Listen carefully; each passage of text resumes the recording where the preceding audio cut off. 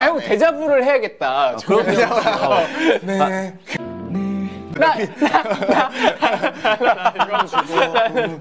이렇게 해줘야 돼. 다리 이렇게 해줘야 된다고 맞아. 그래 알죠? 이거 약간 여기 관자놀이 눌러줘야 돼.